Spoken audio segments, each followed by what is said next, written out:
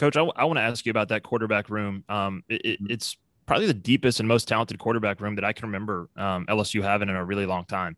Uh, and I've been I grew up here, been watching LSU football my whole life. It's just a lot of guys with a lot of talent and, and experience too, guys that have been on the on the big stage. Um, how have you kind of worked through assessing that quarterback room, familiarizing yourself with those guys, and um, kind of getting to know their different talents and abilities? Great question, Cody. And first of all, starting just getting to know these guys as young men. I mean, we have guys that have been through different things in their lives. They've been raised in different ways and been around different styles of football. And when you get a chance to have just one on one time with each one of them talking about uh, life, everything other than football, and you start to learn about them as a young man and then see how they learn, see how they communicate. What are their strengths? What are things, and, and we want to continue to build those. What are some things that we need to to grow and build in addition to their strengths? And then getting them in the meeting rooms. We have a little bit of time right now that we're allowed to meet with them, and and we have football school going on, so we're able to introduce some things. How do they a absorb it, and then b how do they? Because as the quarterback, you're out there directing how are they handling that from a communication standpoint from an execution standpoint and this this room you know i i don't have the depth of time here like you do cody. One thing i can to compare them to past rooms but i just know this room. We have really good young men in it. I expect a lot of them. Uh, they're being challenged and they will continue to be challenged because we're trying to be elite here. And we're going to do that by applying pressure and it allows them the opportunity to challenge their teammates as well. So I'm very pleased with the young group that we have. I think Coach Orgeron's done a great job here assembling good quarterbacks in this room that we'll keep adding to. And I'm excited to see these guys grow as we hit to spring ball here in a few weeks. Speaking of parents, we have a question from Courtney Dunbar, who uh, identifies herself as a, uh, a, Nebraska mom. So you you, you know right. Nebraska well. I'm gonna try to um, get Courtney on here. I'm gonna allow her to talk. And Courtney, if you want to, you can uh, you can unmute yourself and you can ask Coach your question. Oh my goodness, I'm so excited. I can't even. I mean, I know where you grew up and and we're so excited to have a Nebraska and an LSU. Um, right, thank you. Yeah, yeah, yeah. So I'm um, very excited. I know because I grew up in the state as well, Nebraska yeah. football legacy and how proud we are because we always really valued character in these teams. Mm-hmm. Uh, Tom Osborne always valued character and they they cared a lot about the players just like you were talking about here. I'm curious about what you carried from what you learned by being a part of that institution in college into how mm-hmm. you coach now. Do you recognize this guy? Yeah.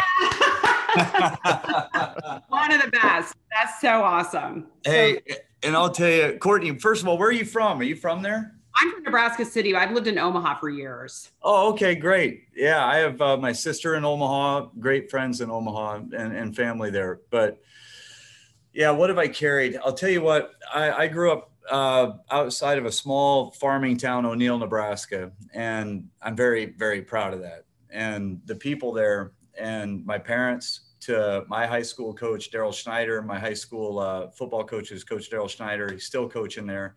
And my high school basketball coach mike pardon are a couple of guys that uh, greatly impacted me. And and i know i wouldn't be doing this if it wasn't for them. Like they're two of the people that impacted me at the very beginning. And when you're from a, a farming ranching town like that uh, you learn to figure things out. And you learn to progress, challenge each other, you understand that things are not going to be easy. And, and it certainly hasn't been easy. You can talk to my wife who's handling moving and, and getting into a new house, handling six kids while I'm here in the office. Uh, nothing's easy, but, but we really enjoy it. We love the challenge and something coming from there. Like, I feel like it's been so easy to be the last few places I've been. And even before that, but just focused on like in Charlotte with the Panthers, you have so many great people there uh, in that organization and in that city. And coming to Baton Rouge, just so many great people here, very hospitable people that are very passionate about uh, their brand, about LSU football, no different than the University of Nebraska and what you expect, I'm sure, from the university and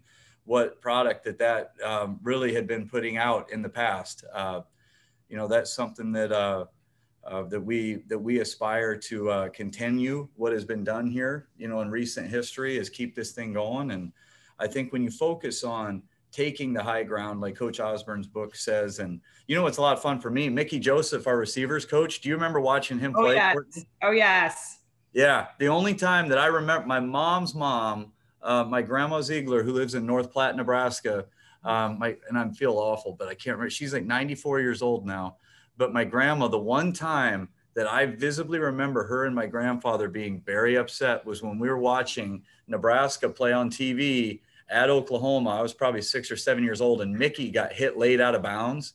Yeah. And do you remember that? No, I don't, but I know all about that rivalry. I, yeah, I mean, great yeah. rivalry. But yes. Mickey ended up being out for the game, and I had never seen, and I was too young to really understand, but my my grandmother got her blood pressure up pretty high with that. But and it's great getting to work with him because I remember watching him play when I was young.